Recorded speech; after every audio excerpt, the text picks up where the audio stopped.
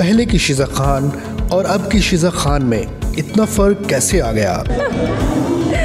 अच्छा इतना फ़र्क इस तरह आ गया पॉजिटिव रहना चाहिए हमेशा।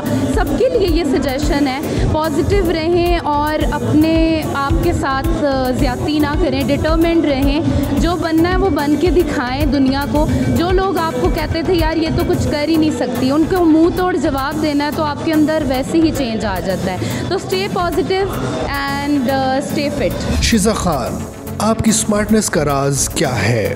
अब इन्हीं को लगता है कि मैं पतली हूँ मुझे तो अभी भी सारे मोटी कहते हैं। चले अ, बस ये है कि मैं अपना बहुत ज़्यादा फोकस्ड रहती हूँ। आपको बहुत गिव अप करना पड़ता है ना लाइफ में। जब भी आप कुछ करने का सोच लेते हो ये अ, मतलब I was a very foodie person अभी भी मैं खाती हूँ लेकिन मैंने अपने खाने के पैटर्न को चेंज कर दिया है कि एक ही टाइम इतना नहीं खा लेना एक एक घंटे दो दो घंटे के हिसाब से खाएँ।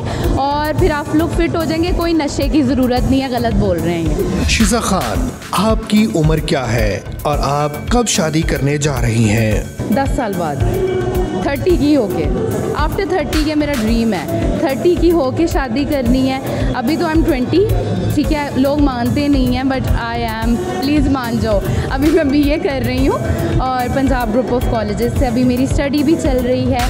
सो आप लोगों के लिए ये भी एक पॉजिटिव रहने का एक तरीका है कि आप लोग अपनी स्टडी कभी ना छोड़ें अगर फ़ील्ड में आना है stay positive and please complete your education Shiza Khan आजकल आप किन प्रोजेक्ट्स पे काम कर रही हैं? देखिए अभी तो आप लोग मुझे देख रहे हैं सैंडी मैंडी में एल फैमिली पे लगता है एवरी सैटरडे संडे आप लोग देख सकते हैं सिटकॉम है वो। वही अभी चल रहा है उसके स्पेल वाइज काम चलता रहता है। उसके अलावा भी कुछ बातें चल रही हैं कुछ काम की। देखिए होप फॉर द बेस्ट